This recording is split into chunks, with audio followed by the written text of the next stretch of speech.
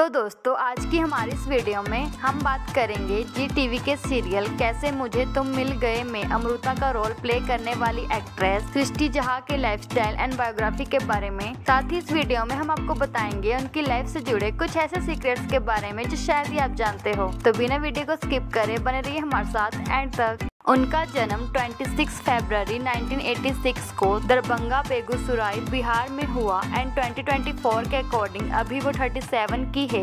उनका real name Srishti Jha and nickname Titu and Challi और profession से वो एक एक्ट्रेस है।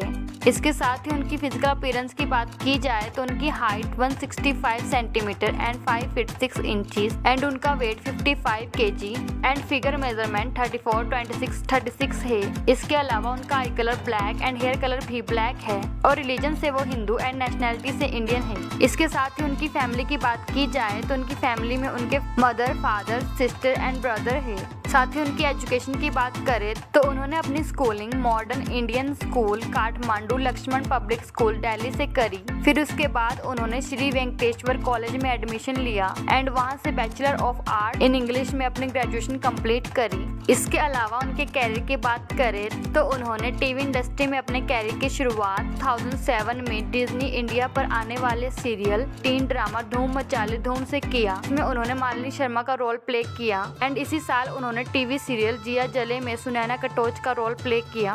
फिर उसके बाद उन्होंने 2009 में इमेजिन टीवी के सीरियल सौर्या और सुहानी में राजकुमारी सुहानी का रोल प्ले किया और उसी साल उन्होंने टीवी सीरियल ज्योति में सुधा शर्मा का रोल प्ले किया। इसके साथ ही उन्होंने 2010 में नचले वे विद सरोज खान में एज अ कंटेस्टेंट पार्टिसिपेट किया। लेकिन उन्हें एक्चुअल फेम 2011 में आने वाले सीरियल दिल से दी दुआ सौभाग्यवती भव से मिली, जिसमें उन्होंने जानवी एंड सिया का रोल प्ले किया। एंड इस सीरियल में उनकी एक्टिंग को लोगों ने काफ़ी पसंद किया। और इस सीरियल से उन्हें काफ़ी फेम मिली और लोग उन्हें जानने लगे और वो घर घर में फ़ेमस हो गई। फिर उसके बाद उन्होंने 2014 में जी टीवी के पॉपुलर सीरियल कुमकुम भाग्या में प्रज्ञा अरोड़ा का रोल प्ले किया, जिससे उन्हें काफ़ी सक्सेस मिली और काफ़ी फेम मिली और सृष्टि जहा को लोग प्रज्ञा के नाम से जानने लगे। एंड इस सीरियल में बेस्ट लीड एक्ट्रेस का रोल प्ले करने के लिए उन्हें इंडियन टैली अवार्ड भी मिला है। इसके अलावा उन्होंने और भी काफ़ी सारे हिट सीरियल में काम किया है, जैसे कि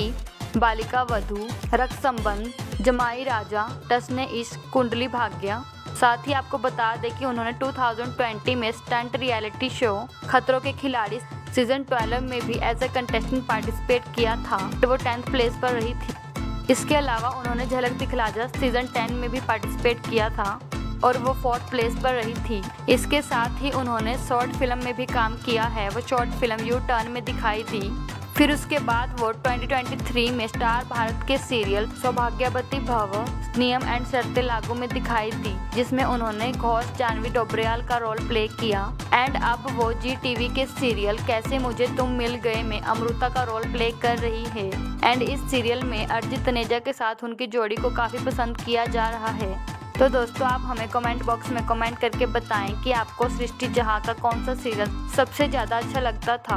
उनके रिलेशनशिप स्टेटस की बात करें तो इंटरनेट पर ये र्यूमर है कि वो अर्जित तनेजा को डेट कर रही है। साथ ही उनके हाउस की बात करें तो वो अपनी फैमिली के साथ मुंबई, महाराष्ट्र में रहती है। इसके अलावा उनके कार कलेक्शन की बात करें, उनके पास एक हुडाई इलाइट आई ट्वेंटी है, जिसकी कीमत 11 लाख रुपीज़ है। साथ ही उनके पास एक ऑडी ए फाइव भी है, जिसकी कीमत 60 लाख रुपीज़ है। एंड इसके साथ ही उनके पास एक मर्सिडीज बेंच जी भी है जिसकी कीमत 75 लाख रुपीज़ है। इसके साथ ही उनकी इनकम एंड सैलरी की बात की जाए तो वो अपने पर एपिसोड का 80,000 टू 1 लाख रुपीज़ चार्ज करती है। उनके नेटवर्थ की बात करें तो 2024 के अकॉर्डिंग उनकी नेटवर्थ 45 करोड़ रुपीज़ है।